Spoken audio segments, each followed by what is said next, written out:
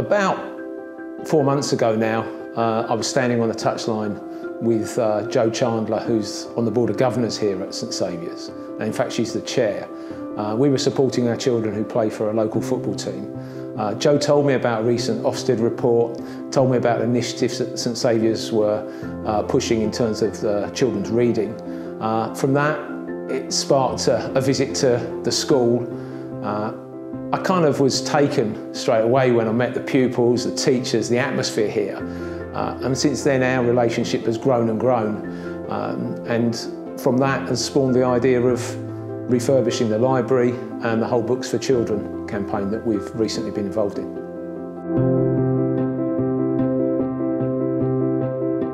The Acorn Group's worked in Lewisham Borough now for nearly three decades.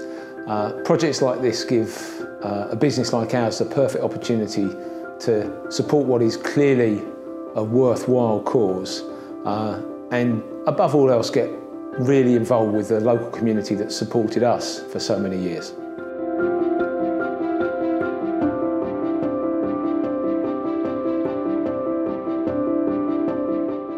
We started the Books for St Saviour's campaign uh, just before we started the building work actually um, and it was a call for any unwanted children's books to be dropped into any of our offices across South East London and Kent and we just can't believe the reaction, it's been incredible. We've had about 2,000 books donated to date with more promised so it's just fantastic, we couldn't have asked for anything more.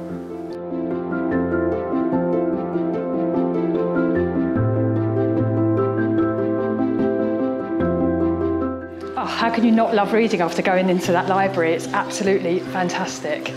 They'll be able to go up there, they'll be able to pick the books that they want, it would be a space that they can relax on the bean bags. It's going to be fantastic for them. We cannot believe the generosity of the people, of the, the general public. Um, I know that schools have donated, I know that families have donated, and it's really nice for them to have a home to go to.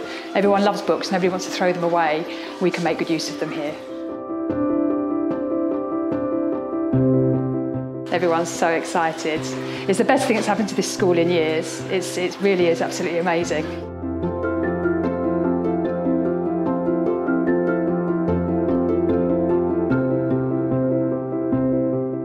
It's just absolutely incredible. I mean, when we first heard about the project, we were excited, but and we imagined maybe it'd look good, but it looks absolutely breathtaking, right from the bottom of the steps, the journey up the stairs, and then the library just really hits you as you walk in. So it's just absolutely stunning, incredible. It's incredibly important that children show an interest in reading because in where we are situated as well and given the diverse community we have, a lot of our children have English as an additional language. So that richness of the text up there, the, all the language rich walls, that's just going to influence and just help improve the children's vocabulary and writing so much. It's just, um, can't emphasise that enough.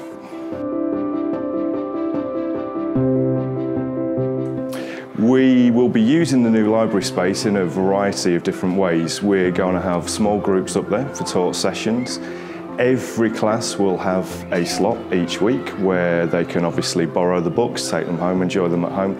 But the fantastic thing about the new library is that also we have a little intervention space next door. So that space is a premium in any school. So just the fact that we've got an extra space where we can run small interventions, that'll just have such a huge impact on the progress of the children within the school.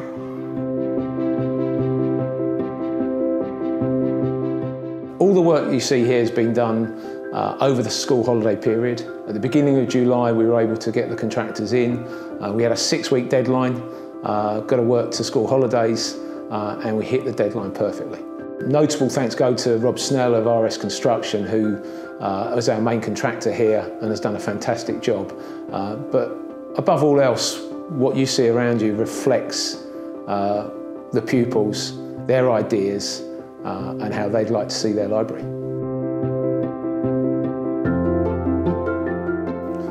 We intend to support further projects like St Saviour's uh, Books for Schools, um, we know for sure that the local community uh, wish to support projects of this type, so we're going to take the opportunity to carry this forward now. Um, keep the appeal for um, recycling and reuse of books going uh, and we'll be looking at uh, organisations that need our help and support in a similar way.